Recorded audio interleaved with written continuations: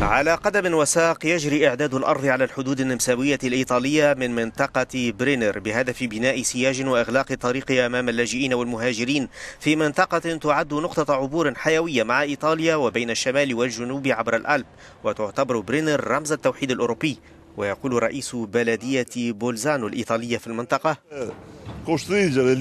تستعمل النمسا القبض الحديدي لإجبار إيطاليا على اتخاذ قرار قبل مجيء المهاجرين إلى حدود برينر.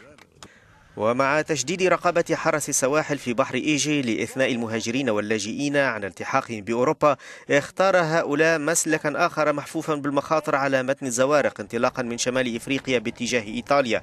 وفي عرض البحر تمكن الحراس الإيطاليون من إنقاذ أكثر من 1800 مهاجر.